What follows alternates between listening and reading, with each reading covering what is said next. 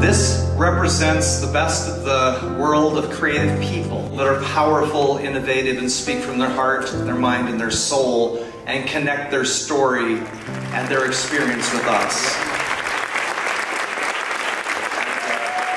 Thank you so much for being here and sharing your work today and your life. proud to be a ma- maverick,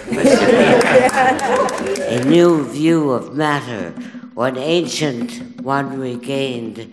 Only a new view that matters will break the trapped pattern. My name is Ruth Weiss. Come on in, come on in, okay? I've been writing all my life. My first poem I wrote at five years old in German because that was my first language.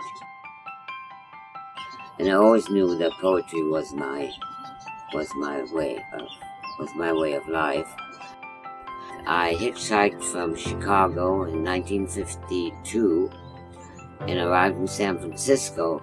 But the reason I wanted to come to San Francisco because someone in New Orleans told me about the fog, and I love fog. So I thought I have to check this out. Young people call me and they ask me, Can you give me any advice or anything? And the main thing I always tell them that timing is everything and to always do what you really feel. Don't follow anybody else's advice how you're going to live your life. And I said, I've done it and I've paid some dues. It's not easy, but I'm happy with what I've been doing. You have to dare to step out of your, your frame. You have to be willing to to see what's outside of that frame. And it's very rewarding.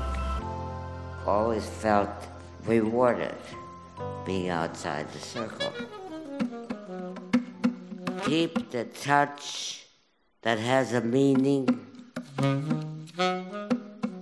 Keep the spark that keeps on feeling.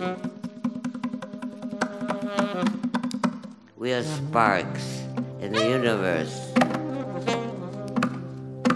Keep the touch that has a meaning.